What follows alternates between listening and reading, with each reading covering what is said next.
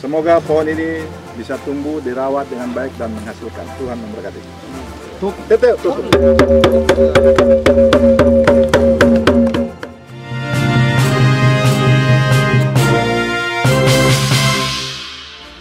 Saudara Dorang, untuk pertama kalinya program pengembangan kakao dilaksanakan di distrik Indesi, di mana pencanangannya dilakukan langsung oleh Bupati Kepulauan Yapen Tony Pesar.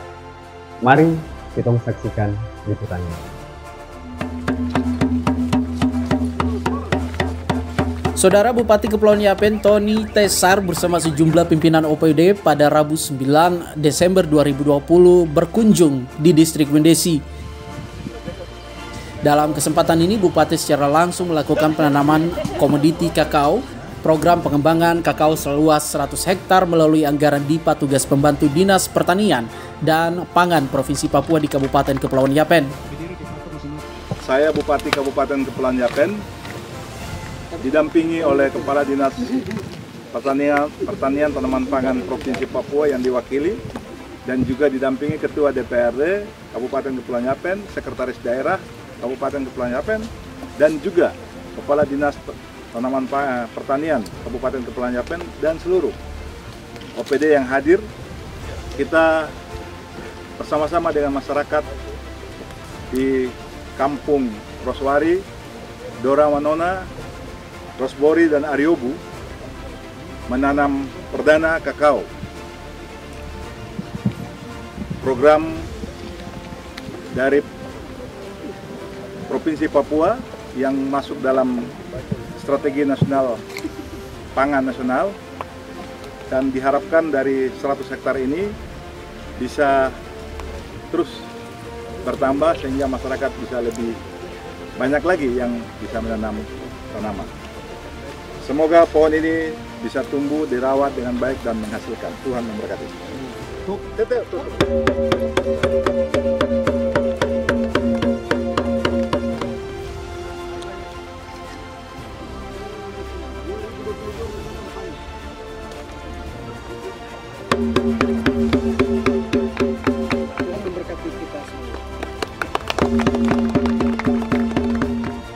Kepada Bupati Kepala Dinas Ketahanan Pangan Kepulauan Yapen, Wahyudi Irianto melaporkan bahwa kegiatan penanaman kakao ini dilaksanakan atas dasar program pengembangan kakao 100 hektar dengan 100 ribu batang pada lokasi di empat kampung antara lain di Kampung Doroi Manona seluas 10 hektar yang melibatkan 10 kakak, Roswari Artanen 30 hektar dengan melibatkan 51 kakak, Kampung Rosbori 37 hektar dengan keterlibatan 61 kakak dan Kampung Aryobu 23 hektar yang melibatkan 23 kakak. Sementara itu mewakili Kepala Dinas Pertanian dan Pangan Provinsi Papua Kabit Perkebunan Karel Yarangga menjelaskan bahwa program ini adalah bagian dari program pengembangan komoditi unggulan nasional yang termuat dalam range dari 16 komoditi unggulan nasional ada lima yang termasuk di dalamnya. Saudara, kali ini bantuan pemerintah pusat melalui Direktorat Jenderal Perkebunan dan Pemerintah Provinsi Papua adalah pengembangan dan penanaman 100 hektar kakao di Kepulauan Yapen. Yarangga pun berharap agar program ini harus sukses. Dalam mendukung program ini, Dinas Pertanian dan Pangan Provinsi Papua juga memprogramkan pemeliharaan tanaman tahun pertama pada 2021 melalui dana otsus sehingga bibit yang sudah ada semuanya ditanam dan berharap semua bantuan ini dimanfaatkan dengan baik sehingga dapat memberikan manfaat bagi masyarakat. Sementara itu Bupati Kepulauan Yapen Tony Tesar yang dalam arahannya mengatakan bahwa atas nama pemerintah daerah menyambut baik program yang dilakukan oleh Pemprov Papua Dirinya juga berterima kasih dengan masyarakat dari empat kampung yang terlibat. Menurut Bupati Tony, ada perhatian luar biasa dari pemerintah pusat dan provinsi, serta mengajak kelompok tani yang ada untuk terus memperhatikan kepentingan masyarakat setempat, sehingga bisa menambah penghasilan dan menunjang kegiatan ekonomi. Bapak Ibu Saudara yang saya hormati, tentunya kita menyambut baik kegiatan ini yang tadi sudah dilaporkan oleh Kepala Dinas Kabupaten maupun yang disampaikan oleh Kepala Dinas Pertanian Pangan Provinsi Papua yang diwakili tadi bahwa kegiatan ini adalah kegiatan penanaman dari uh, rencana 400 hektar tanaman kakao di Kabupaten Kepulauan yang uh, kita laksanakan namun baru bisa kita laksanakan di saat ini adalah 100 hektar.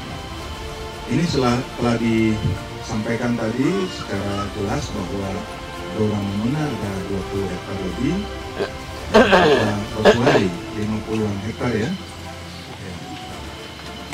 Ariobus ini, Rospori itu sudah cukup banyak yang dilibatkan. Tentunya kita atas nama pemerintah dan Kabupaten Kecamatan menyampaikan ucapan terima kasih untuk program yang telah direncanakan untuk Kabupaten Kecamatan ini dan sampaikan juga salam hormat kami untuk Kepala Dinas dan Bapak Gubernur Provinsi Papua. Semoga uh, program ini akan terus diperhatikan, dilaksanakan untuk bisa mempercepat uh, proses terwujudnya masyarakat Papua yang ada di Kabupaten Kecamatan ini untuk bisa lebih mandiri dan lebih sejahtera lagi sesuai dengan visi misi dari Bapak Gubernur, tapi juga dari kita Kabupaten Kepulauan Tim Liputan Yapen Channel